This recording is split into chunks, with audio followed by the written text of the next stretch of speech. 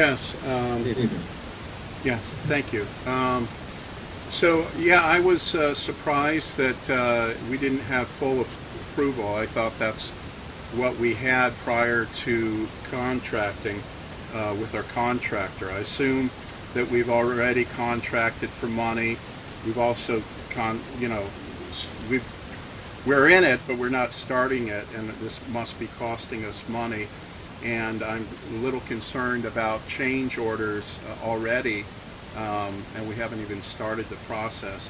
Can you uh, can uh, you provide any more information other than uh, it's being delayed? Is there a problem with, say, setbacks or uh, drainage or other issues that may require the revisit of the, the plan?